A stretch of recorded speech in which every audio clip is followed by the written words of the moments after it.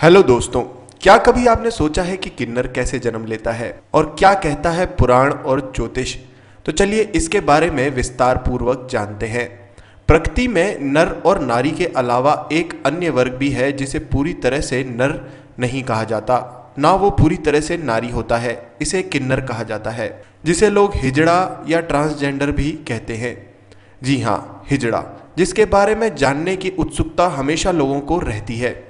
तो चलिए आज हम आपको इसके बारे में विस्तार पूर्वक बता दें। आपको शायद पता ना हो कि किन्नरों का जानंग, जन्म से लेकर मृत्यु तक एक जैसा ही रहता है, या यूँ कहें, यह जानंग कभी विकसित ही नहीं होता। किन्नरों के अंदर अलग प्रकार के गुण पाए जाते हैं। इस प्रकार के गुण ना तो पुरुषों में होते हैं और ना ही स्त्रियों में। इनका रहन सहन पहनावा काम धंधा सब कुछ भिन्न होता है। आपको बताते चले, आज से नहीं, सदियों से किन्नरों के जन्म की परंपरा चलती आई है।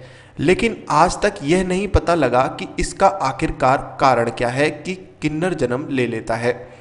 अगर बात करें ज्योतिष शास्त्र की और पुराणों की तो किन्नर का जन्म को लेकर इसके लिए अलग अलग दावे किए जाते हैं। ज्योतिष शास्त्र की माने तो बच्चे के जन्म के वक्त उनकी कुंडली के अनुसार आठवें ग्रह में शुक्र और शनि विराजमान हो और जिन्हें गुरु और चंद्र नहीं देखता तो व्यक्ति नपुंसक हो जाता है और उसका जन्म किन्नरों में होता है।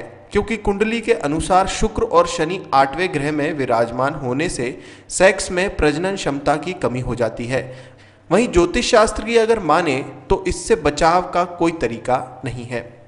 किन्नर पुरुषों से बिल्कुल भिन्न होते हैं। इनकी अदा, चाल, चलन सब कुछ बिल्कुल भिन्न होता है। इन्हें देखकर आमतौर पर इंसान डर जाता है। ये लोग अवैध प्रकार की वसूलियाँ भी करते हैं। पुरुषों से लेकर स्त्रियों तक हर प्रकार में यह लोग भिन्न होते हैं।